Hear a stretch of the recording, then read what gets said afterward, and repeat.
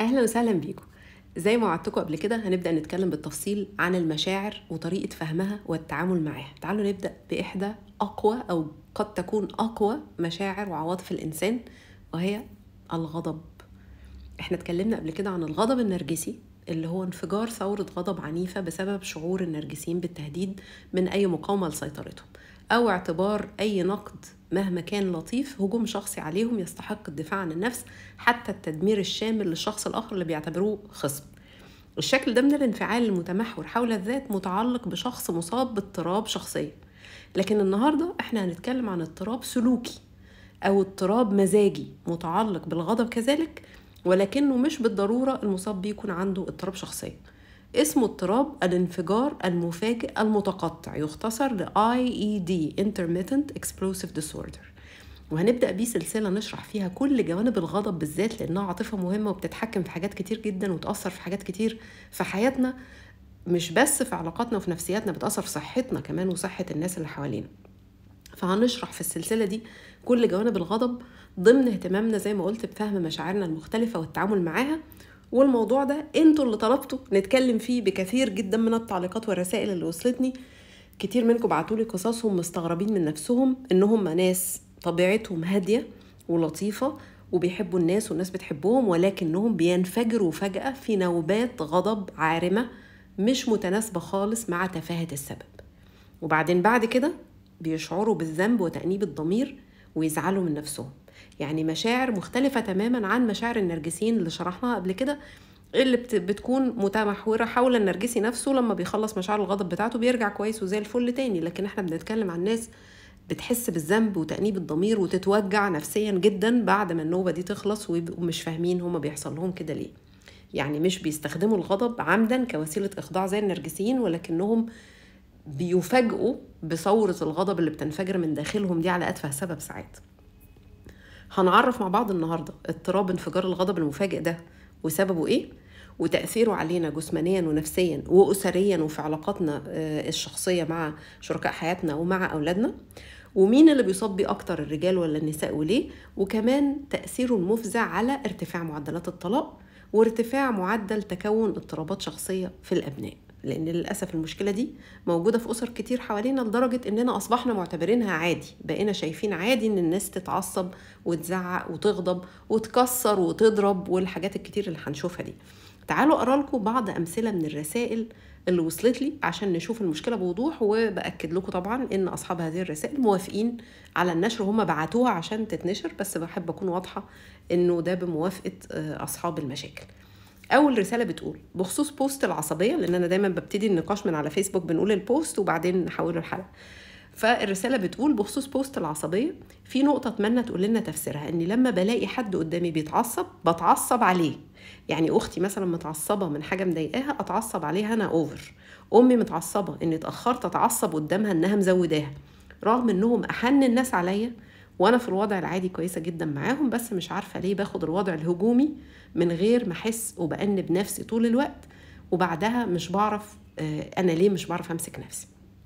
دي كانت أول رسالة.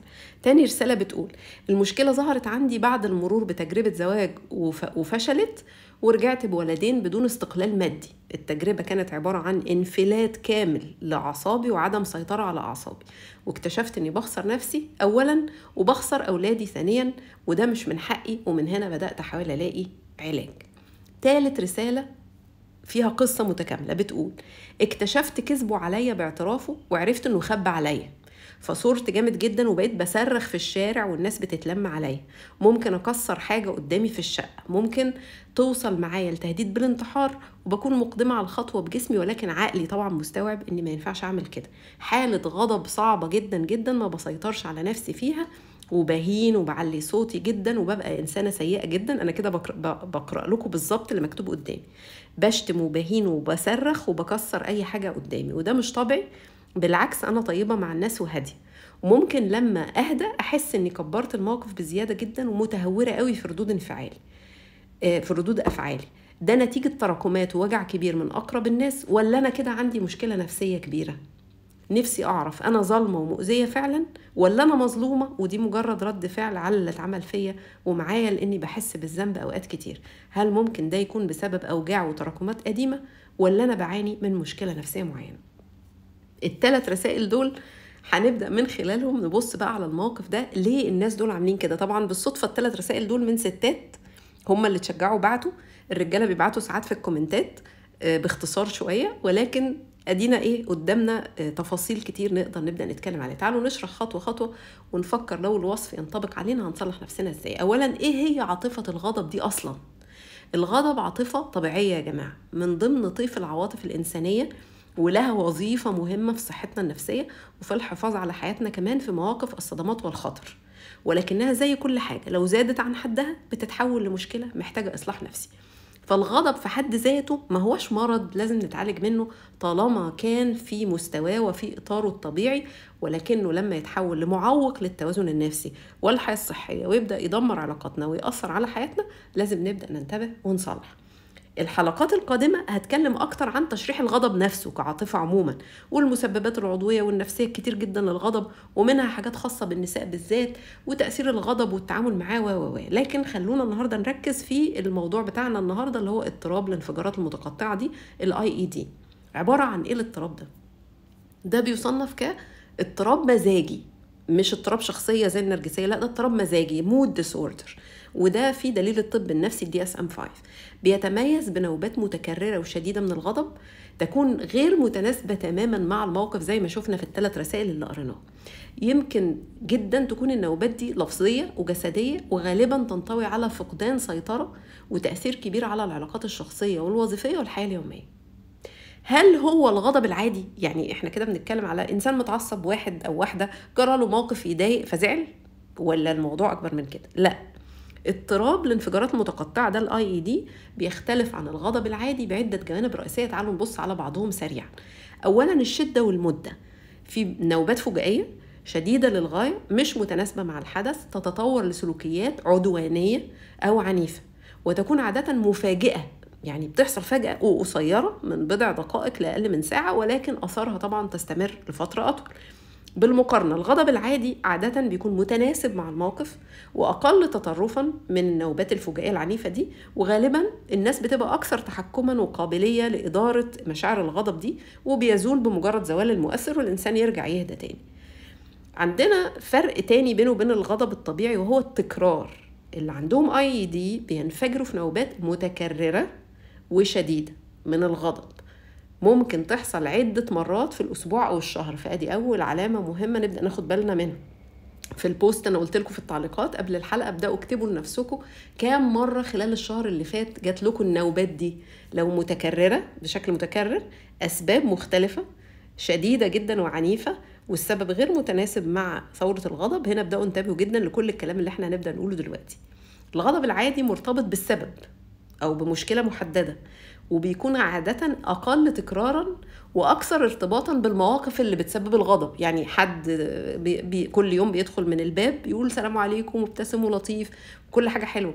دخل النهاردة لقى ضيف مش عاجبه مثلا أو لقى أي مشكلة في البيت فتعصب. ده موقف متعلق ب يعني الغضب متعلق بموقف. ولكن انفجارات الغضب الفجائية دي بتجرى مرة على القطة ومرة على الكتاب ومرة على العربية اللي ماشية في الشارع اي على أي حاجة وانفجار شديد جدا جدا وعنيف ويتطور ل آه، يعني تكسير ضرب وهنشرح دلوقتي. عندنا اختلاف ثالث بين الاضطراب ده وما بين الغضب العادي اللي هو التأثير والتحكم. إزاي؟ النوبات المرتبطة بالاي اي دي غالبا بتؤثر بشكل كبير جدا على العلاقات وعلى العمل وعلى الأداء العام. فيمكن إنها تعمل خناقات لفظية وجسدية تدمير ممتلكات ضيق عاطفي قدرة الناس اللي مصابين بيه محدودة على التحكم في غضبهم أثناء النوبة دي. آه، بيشعروا بفقدان السيطرة. زي ما شفنا في الثلاث رسائل اللي أنا اخترت أقوله لكم الثلاثة قالوا عندنا فقدان سيطرة على نفسنا وعلى أعصابنا وبيتصرفوا بشكل متهور. فبالتالي ممكن يعتادوا على اللي قدامهم أو يكسروا أجهزة زي ما أنتم شايفين في صورة الحلقة كده أو يكسروا عفش. أو تحف غالية مثلا. زي المشهد التقليدي اللي بنشوفه مثلا في الدراما لما بيحبوا يجسدوا قوي حد غضبان فيجيبوا واحد أو واحدة بيحدف تمثال في المراية مثلا فيهشمها. أو واحد يروح لاكم الحيطة. ده بنشوفه كتير في المسلسلات والأفلام الأمريكي لأن الحيطان عندهم معمولة من زي الجبسون بورد كده مش مش مش مبنية خرسانة زي عندنا. فنبص نلاقي واحد راح لاكم الحيطة كده إيده معدية يخرم الخشب بتاع الحيط بالمقارنة الغضب العادي لا يؤدي لعواقب شديدة وأضرار كبيرة. حد بيعبر عن غضب بيزعق بيقول يا جماعة إيه اللي أنتوا بتعملوه ده؟ عادي يعني كلام عادي. ويكون عادة قابلا للإدارة.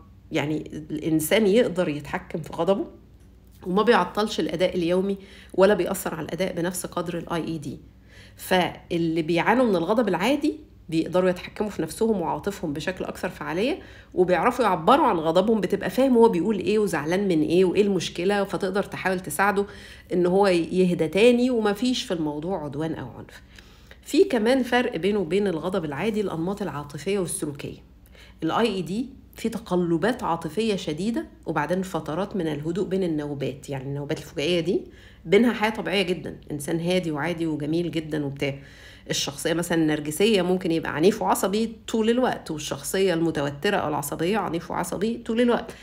لكن اللي عنده الاضطراب ده في النص بيبقى شخص بين ال... بين الانفجارين بيبقى حد هادي جدا لا يمكن حد يتخيل إن هو بينفجر بالشكل ده. وكمان بيشعر بالندم والذنب بعد النوبة دي. ولكن شعوره بالذنب أو شعورها بالذنب لا يمنع حدوث نوبات مستقبلية.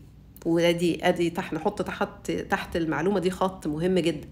كون الشخص يشعر بالندم ده مش كافي إن هو ما يعملش كده تاني.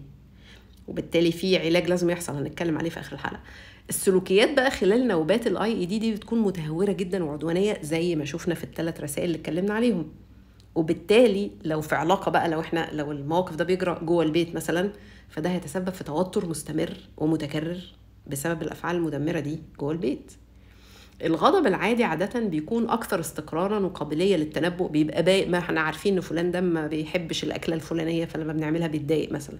فخلاص فهمنا وتنبأنا بإن شكل الغضب بتاعه هيكون عامل إزاي ورد فعل عاطفي طبيعي زي ما قلنا ممكن إدارته وحله. بالتالي غالبا الشخص اللي عنده غضب عادي بيعبر لفظيا أو بيقول حاجة يعني بيتصرف تصرف حازم شوية بس ما بيعملش عدوان ما بيمدش ايده ما بيمدش لسانه. التشخيص والعلاج كمان من الفروق بينهم لأن الاي اي دي تشخيص طبي لازم نروح للدكتور عشان يشخصنا بناء على معايير محددة في دليل التشخيص بتاع الطب النفسي اللي هو ال DSM 5 ولازم تكون في نوبات متكررة وفقدان سيطرة وبيعمل إعاقة في الأداء وبالتالي بيحتاج علاج نفسي زي العلاج السلوكي المعرفي مثلا. وتقنيات يتعلم الإنسان تقنيات إدارة الغضب. واحيانا قد يلجأ الطبيب للأدوية. فلذلك دايما بقول المسانده الاحترافية ضرورية علشان الاضطرابات تدار بشكل فعال عن طريق طبيب نفسي متخصص معترف بيه مصرح ليه في البلد اللي إحنا موجودين فيها. ما بنروحش لأي حد على صفحة أونلاين ولا حد ما احناش عارفين ده إيه. لازم في حالات زي دي نروح لدكتور طبيب نفسي. الغضب العادي ما هوش اضطراب يعني ما بيتشخص مش ح... ما الإنسان العادي تعصب في مواقف طبيعية تستدعي إن هو أو يعبر عن غضبه بطريقة عادية ده ما بيروحش للدكتور ومش هيتشخص عادي مش متطلب تشخيص احترافي إلا لو أصبح متكرر ومؤذي أو في مشكلة كبيرة. وإدارة الغضب العادي ممكن الإنسان يتعلمها لوحده بإن هو يتعلم طريقة إن هو يفرغ بيها غضبه يتحكم في الكلام اللي بيقوله وهكذا. فبالتالي نراجع بسرعة كده السمات الرئيسية للاي اي دي إن النوبات متكررة فجائية متكررة بشكل ملحوظ مش مرة على حدث عارض فقدان السيطرة الشخص مش قادر يهدي نفسه. عدوان اندفاعي صراخ زعيق تهديد ضرب عنيف تكسير تدمير فجائي ولكنه مش مدبر بوعي زي الغضب النرجسي. ما هوش وسيلة إخضاع نفسي زي الغضب النرجسي. في تأثير واضح على الأداء والعلاقات في العمل والأسرة والعلاقات الاجتماعية بحيث الشخص يلاقي صعوبة في الحفاظ على الهدوء والتوازن في العلاقة. دايما في انفجارات فجائية على أسباب تافهة. أعراض الآي إي دي مزمنة يعني الشخص اللي عنده ده بيحصل له ده دايما فنلاقي عدد من المرات خلال الأسبوع أو خلال الشهر بنفس الشكل متكررة انفجارات على أسباب تافهة مختلفة. فبالتالي بتستمر على فترة طويلة والاضطراب عادة بيبدأ في الطفولة وفي الطفولة المتأخرة والمراهقة. يعني تقدروا تبدأوا تلاحظوه في ولادكم من هم صغيرين. وهنتكلم في الحلقات الجاية على على الغضب بقى إزاي بيتبني في الطفولة وهنتكلم أكتر في الموضوع ده. لحد هنا المفروض اللي بيسمع المعلومات بتركيز بدأ يكتشف هذا الكلام ينطبق عليه ولا هيستنى الحلقة الجاية عشان يسمع تفاصيل الغضب العادي وطريقة التعامل معاه. بعد الحلقة دي المفروض تفتحوا ورقة وقلم أو فايل وتكتبوا كتير بقى لنفسكم اللي حاسين بيه وتحاولوا تسجلوا كل المواقف اللي غضبتوا فيها بنوبات عنيفة مفاجئه خلال الشهر اللي فات مثلا. كم عددها؟ مدى شدتها؟ سببها واحد ولا عدة أسباب؟ شدتها متناسبة مع المسبب ولا رد فعلكم كان عاطفي مبالغ فيه جدا زيادة عن اللزوم؟ كل ده هيساعدكم تشوفوا المشكلة أوضح وبالتالي تشوفوا هتتعاملوا معاها إزاي زي ما هنحكي لغاية آخر الحلقة. تعالوا نكمل. هل الاضطراب المزاجي والسلوكي متعلق باضطرابات شخصية؟ يعني إحنا في الحلقات بنتكلم على اضطراب الشخصية النرجسية وبعض اضطرابات الشخصية الأخرى المتعلقة بيه. فهل لما يبقى في اضطراب مزاجي أو سلوكي متعلق بالموضوع ده؟ الإجابة الغريبة هي آه قد يكون في علاقة قد يكون في علاقة بينهم. تعالوا نقول سريع. ممكن الأعراض تبقى شبه بعض تتداخل زي العدوان والإندفاعية. ممكن تبقى شبه بعض اضطرابات الشخصيه زي إيه؟ ال borderline personality disorder ال narcissistic personality disorder وال antisocial personality disorder اللي هي الشخصيات الحديه النرجسية المعادية للمجتمع. عدم الاستقرار العاطفي وصعوبة إدارة العواطف شبه اضطراب ال borderline اللي ممكن يبقى فيه برضو غضب شديد وإحباط وبتاع وحاجات من دي. المبالغة في إظهار الغضب المجنون المبالغ فيه جدا قد تكون شبيهة بال histrionic personality disorder الشخصية الهستيرية. هتلاحظوا إن كل الاضطرابات اللي ذكرتها كلهم مع بعض في cluster B في المجموعة ب اللي فيها النرجسية واللي كلهم مع بعض في عندهم أعراض متشابهة مع بعض. لو عايزين تذاكروا الحتة دي تفهموا عبارة عن إيه حلقة ما هي النرجسية وحلقة كل ما يهمك أن تعرفه عن النرجسية في قائمة حلقات فخ الطاووس. هتلاقوا فيهم كل اضطرابات الشخصيه عموما واضطرابات شخصية كلاستر بي مع بعض عشان تفهموا إيه الموضوع. زي ما قلنا بتحصل النوبات دي في في يعني منفصلة وفجائية. وفي حالات معينة من الغضب الشديد. فاضطرابات الشخصية بتعمل أنماط مزمنة وشاملة تؤثر على جوانب متعددة من حياه وهوية الشخص. دي شخصيته اللي بيتعامل بيها معاكم دايما كنمط ثابت مش مش حدث عارض. لكن الاضطراب اللي بنتكلم عليه ده الشخصية ليها شكل معين هادي ومفيش فيه الحكاية دي وفجاه انفجارات. ممكن يبقى فيه comorbidity يعني تزامن.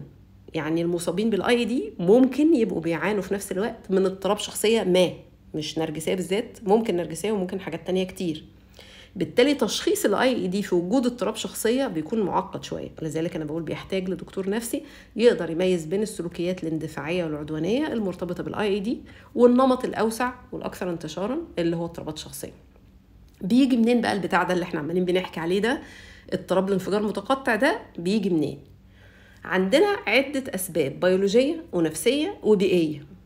اختلالات العصبية اللي هي يعني فيسيولوجي بقى جوه الجسم إن الأبحاث بتقول إن الاختلالات في مناطق الدماغ المرتبطة بتنظيم العواطف أو اختلالات النواقل العصبية زي السيروتونين والدوبامين اللي بتأثر على الشعور بالسعادة والاسترخاء والرضا دول ممكن يساهموا في إظهار المشكلة دي. في استعداد وراثي في ناس مولودين لديهم تاريخ عائلي من اضطرابات المزاج أو السلوكيات الاندفاعية أو الاضطرابات الشخصية فدول معرضين لخطر أعلى. وكمان الأطفال اللي نشأوا في أسرة فيها النمط ده معرضين يكتسبوه سواء كان عندهم استعداد جيني أو هيكتسبوه بالتقليد. لذلك رسالة الأم في أول الحلقة اللي عندها ولدين اللي, اللي قالت إنها انتبهت لتأثرهم بسلوكها اللي بقى فيه انفجارات غضب وسعت للعلاج بسرعة مهم جدا جدا في هذا السياق لأن هي عملت صح. في كمان العوامل النفسية زي الاندفاعية والتهور والتفكير الكارثي ال catastrophic thinking اتكلمنا عليه في حلقة كيف تخدع الضحية نفسها بأنماط التفكير السلبي تقدروا ترجعوا لها في قائمة حلقات التعافي. إن الواحد يشوف الأوضاع أسوأ مما هي عليه جدا يتعود مخه بيعمل كده دايما فبالتالي بيغضب قوي قوي على حاجات عبيطة جدا ما بتؤديش للفكرة الكارثية اللي جت في مخه دي. أو ال overgeneralization التعميم المفرط اللي هو نستخلص استنتاجات ضخمة جدا من حدث واحد صغير جدا قد يكون مش متعلق بيه. فدي عوامل نفسية. ممكن تبقى عند الإنسان بقى بأسباب مختلفة إنه يتعرض لصدمات أو إساءة في الطفولة سواء عاطفية أو جسدية. شرحنا بقى في حلقات الإيذاء وحلقات اضطراب ما بعد الصدمة وحلقات المؤذي داخل الأسرة تأثير الحاجات دي نفسيا على الناس إيه؟ فأحد الآثار هو اللي إحنا بنتكلم عليه ده الآي إي دي كمان طبعا البيئة العامة المجتمع. الضغوط النفسية والمادية والمشاكل الحياتية. شكل الحياة داخل الأسرة لو في توتر وخناقات أو حد من الأسرة عنده اضطراب شخصية. قوائم بقى الحلقات اللي فاتت هتلاقوا فيها الكلام ده كله. العوامل بقى الطبية والصحية دي نقطة مهمة لأن الناس كتير ما بتربطش ما بين المشاكل الفسيولوجي المرض المزمن أو المشاكل الصحية أو الأدوية اللي الإنسان بياخدها أو الإدمان بما, بما في ذلك الكحول والمخدرات والسكريات والتدخين. الحاجات دي كلها طبعا آه، اعرض الانسحاب بتاعتها أو عدم وجودها وجودها بجرعات عالية بيأثر جدا جدا على الاندفاعية والعدوانية. وبالتالي يزود نوبات الاي اي دي زي ما قلت الأمراض المزمنة زي السكر والقلب إصابات الدماغ اللي بتأثر على تنظيم العواطف تغيير الهرمونات في الستات في المراحل المختلفة في الحياة أو في الدورة الشهرية السن السمنة مشاكل كتير مشاكل النوم الأرق. نتكلم بقى عن النقاط دي بالتفصيل في الحلقة الحلقات القادمة إن شاء الله لما نتكلم عن الغضب يعني بكل مسبباته. في نقطة بقى هنا مهمة جدا. عشان نتكلم في العلاقات اللي إحنا بنتكلم فيها دايما في الحلقات بنربط دايما المشاكل السلوكية ومشاكل اضطرابات شخصية بعلاقاتنا الشخصية جوه البيت. ده أهم حاجة. عندنا تشجيع المجتمع للعدوانية للذكور. باعتبارها دليل الرجولة والسيطرة والقوة. وكمان المثال اللي الكل بيشوفه إن اللي إيده طويلة ولسانه طويل بياخد حقه. وبنشجع عليه وبنربي عليه اللي ضربك اضربه اللي مش عارف إيه مش ده اللي بنقوله للصغيرين. فبالتالي بنشجع الأولاد عليه من الصغر. وهنا بيجي السؤال المنطقي. مين معرض للإصابة أكتر الرجالة ولا الستات بال IED للأسف أكثر شيوعا عند الرجالة بمقدار الضعف عن الستات طبقا للأبحاث رغم أن ده آه، يعني اضطراب ممكن يؤثر على الاثنين أي حد يقدر يجيله ست أو راجل. ولكن للأسف آه، نسبة الإصابة أو استعداد الرجال للإصابة أكتر من الستات الضعف. فطبعا الموضوع متشابك جدا لأن في زي ما قلت عوامل كتير جدا بتأثر على التشخيص. زي السن والحالة الصحية واضطرابات الهرمونات وجاز الرجالة هم اللي بيبان عليهم أكتر عشان المجتمع بيشجعهم والمجتمع بيقول للستات اكتمي الغيظ فمش بيبان عليها أو وات ففي لذلك لازم نروح نشخص عند متخصص. اللي يهمنا في الموضوع إن الاضطراب ده للأسف يؤثر بشكل كبير على العلاقات العاطفية وعلى تزايد معدلات الطلاق لأنه بيشكل ضغط عاطفي مستمر بيزود التوتر بين الزوجين بيزود الخلافات كل مرة لأنها أصبحت نمط دايرة مفرغة دايرة جهنمية. آه، أول ما تبدأ يدخلوا الاتنين في لوب من ردود الأفعال المحفوظة من الخناق اللي قبلها فيوصلوا لنفس النقطة السد ويبدأ الموضوع يزيد قوي الحاجز العاطفي ما بينهم يزود مشاعر القلق الخوف العجز النفور يخلق فجوة عاطفية بين الشريكين. وكمان الشخص المصاب بالاي اي دي بيواجه صعوبة في التواصل العاطفي لأنه بيبقى عنده مشاعر ذنب أو عار بعد الانفجار الرهيب ده. وفي المقابل الشريك بيتراجع عاطفيا عشان يحمي نفسه. وهنتكلم أكتر عن استجابات الصدمة المتعلقة بالانفجارات العاطفية دي الحلقة الجاية إن شاء الله. ممكن كمان يؤدي لانهيار التواصل لأنه الشخص بعد ما بينفجر بيلاقي صعوبة في التعبير عن مشاعره. مشاعر العار دي وال وال والشعور بالذنب غالبا في مجتمعاتنا كمان بالذات الرجالة ما بيعرفوش ما بيعرفوش يقولوا أنا آسف. مش المجتمع لا يشجعهم على ذلك. هم كويسين وطيبين وكل حاجة بس عمر ما حد علمه يقول أنا آسف. فبيبقى في جواه حاجز نفسي. والشريك الآخر مراته مثلا هتبقى مش عارفة خايفة تتكلم عشان أحسن تستدعي الخناقة تاني. فبالتالي تروح منكمشة وتوافق على أي حاجة أو تتفادى الكلام أو تتقمص. فبالتالي يبدأ الموضوع يبقى فيه ضعف في التواصل وسوء فهم وتجنب للنقاش وده environment لا يمكن تتحل فيه مشاكل أو الناس تبقى فيه سعدة فالنتيجة مشاكل متراكمة وقضايا غير محلولة. المشا... المناخ المشحون ده جوه البيت يؤثر بشدة على الثقة والأمان. اللي هم دعائم العلاقة الصحية والحب بين الرجل والمرأة وبين الأهل وأولادهم. فيحصل اللي وصفناه في حلقة المشي على على قشر بيض وحلقة كبت المشاعر وحلقة استجابة الصدمة. ضروري تسمعوا الحلقات دي علشان تكمل لكم الصورة. في بقى تأثير نفسي خطير ومهم للشخص نفسه المصاب بالاضطراب.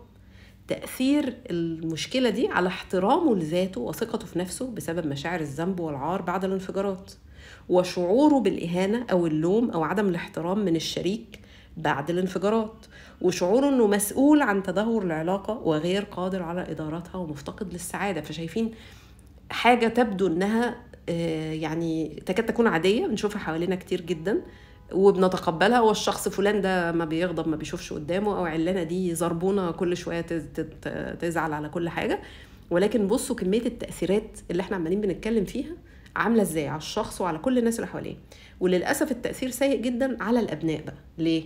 بيعرضهم لاكتساب نفس السلوك اكتساب آه، اضطرابات مزاجية وسلوكية مختلفة آه، اضطرابات التوتر والقلق والاكتئاب التمرد والعصيان والمعارضة المستمرة لأي رمز سلطة الرهاب الاجتماعي وتفضيل العزلة لأنهم بقوا خايفين من الناس أحسن حد ينفجر فيهم بالإضافة إنهم بيتعلموا كبت المشاعر فبيبقى عندهم اميه عاطفية ويبقى عندهم people pleasing استرضائية مبالغ فيها جدا للآخرين لمحاولة اكتساب التعاطف ومحاولة إرضاء الناس عشان يتفادوا العقاب وعشان يرضوا عن نفسهم. كل دي مشاكل مباشرة متعلقة بثورات الغضب الفجائي المزمنة دي. الحل بقى المعضلة الرهيبة اللي قعدنا نحكيها دي نعمل إيه عشان نحلها؟ عندنا طريقين بنتكلم عنهم دايما في حلقات التعافي. طريق نحاول نمشي لوحدنا ونجرب مع نفسنا الأول وطريق نطلب مساندة احترافية من طبيب نفسي متخصص. بالنسبة للاضطراب ده لازم يتشخص عند متخصص ما ينفعش نشخص نفسنا أو نشخص حد تاني لأن أعراضه صعبة ومتشابكة ومتشابهة مع مشاكل تانية كتير زي ما شرحنا. ففي حالة هتحاولوا مع نفسكم هتبقى عشان تحاولوا تنمية وعيكم بالمشكلة ومن خلال الوعي الذاتي تحاولوا تسيطروا على نوبات الغضب عموما بغض النظر عن نوع الغضب. مش مهم تبقوا عارفين اسمه إيه الغضب اللي أنتوا عندكم. ده ممكن يحصل بعد الاستعانة بالله بتغيير نمط الحياة لشكل صحي آه، تكنيكات استرخاء رياضة نوم كافي أكل صحي اللي عنده مشاكل صحية مزمنة يعالجها بعد عن المنبهات والمكيفات والسكريات بعد عن أي حاجة فيها إدمان يبقى علاقات نبني علاقات صحية قوية ونتكلم مع ناس ثقة نكتب مع نفسنا يوميا المشاعر نقرأ ونبحث كتير في المشكلة. نعبر عن مشاعرنا كلها بالفنون البسيطة زي التلوين والرسم والموسيقى والحرف اليدوية. دي بعض الطرق اللي ممكن نتعامل بيها مع المشكلة دي. حاولتوا ما لقيتوش نتيجة يبقى definitely طلب مساندة احترافية من متخصص نفسي. هتعلمكم. تغيروا نمط تفكيركم فيتغير بالتبعية نمط انفعالاتكم ومشاعركم وتتعلموا طرق إدارة المشاعر والسيطرة عليها.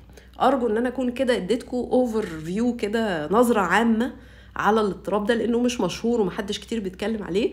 وأعتقد أنا قلت كلام كتير تقيل قوي في الحلقة دي فأنا آسفة يعني لو كنت قلت عليكم. مستنية بقى تفاعلاتكم في التعليقات وانتظارا لأننا نستكمل التفاصيل بتاعة الغضب عموما والتعامل معاه باشكاله المختلفه ومسبباته عند الستات والرجالة في الحلقات القادمة إن شاء الله ونستكمل حلقات التعامل مع المشاعر. بفكركم إن أنا مش دكتورة وما بعلكش حد عشان ما حدش يجي يقول لي آه طب تعالي عالجيني من الغضب. الحلقات هدفها فقط التوعية الاحترافية وبعد كده مسؤوليتكم آه التوصل لمتخصص نفسي في البلد اللي أنتم موجودين فيها. أنتم موجودين حول العالم الناس اللي بتسمعني موجودين في كل مكان. فبالتالي مسؤوليتكم تدوروا على متخصص نفسي قريب منكم يقدر يساندكم. بصوا على الشاشة دلوقتي هتلاقوا آه، اتنين من قوائم الحلقات اللي اتكلمنا عليهم وباقي قوائم الحلقات موجودين على الصفحة الأساسية الرئيسية للقناة آه، في قسم البلاي ليست القوائم متقسمين بالموضوع. والحلقة دي متعلقة بحلقات كتير جدا منهم. فالناس اللي بتسمعنا لأول مرة آه، خدوا جولة كده على القناة شوفوا إيه اللي فايتكم. ومرحبا بكل تفاعلاتكم وأسئلتكم وتجاربكم الشخصية ونستكمل الحلقات القادمة إن شاء الله. شكرا لحسن استماعكم وأشوفكم الحلقة الجاية.